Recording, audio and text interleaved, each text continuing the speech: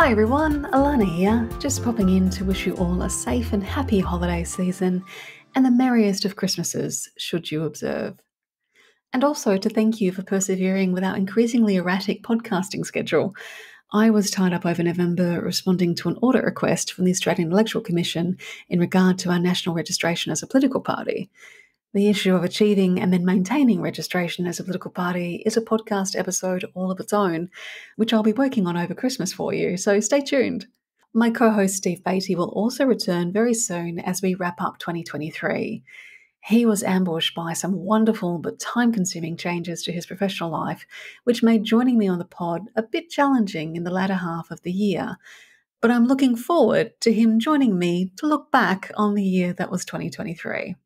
We'll also have some accountability related content coming out to keep you occupied over the summer break. If there's anything about politics, government, or the Democrats you want to know about, now is the time to send in suggestions for explainer or Q&A episodes. The Young Dems have gotten in early with a question about HECS that was framed as Is it true that university used to be free in Australia? Yes, kids, yes, it was. And I'll be back soon to explain why it no longer is. Send your suggestions into us at info at democrats.org.au. In the meantime, have a wonderful, safe, and relaxing time as the year winds down. Take care of yourselves, and we'll chat to you again in 2024. As always, thanks for listening.